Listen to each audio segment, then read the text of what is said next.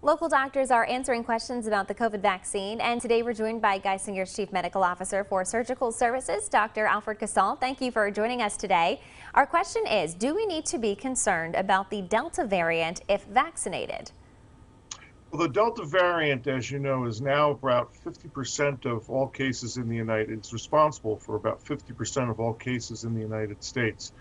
The vaccines that are available in the United States do seem to be very effective against the Delta variant. Specifically, the Pfizer vaccine has been shown to be uh, to prevent infection in as high as 88% of patients.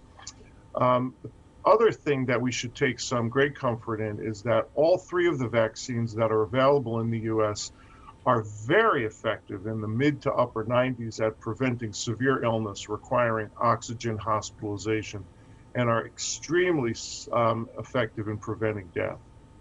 All right, thank you for answering that question today. And don't forget, if you have a question for one of our doctors, just go to pahomepage.com and fill out the form under Vaccinate NEPA.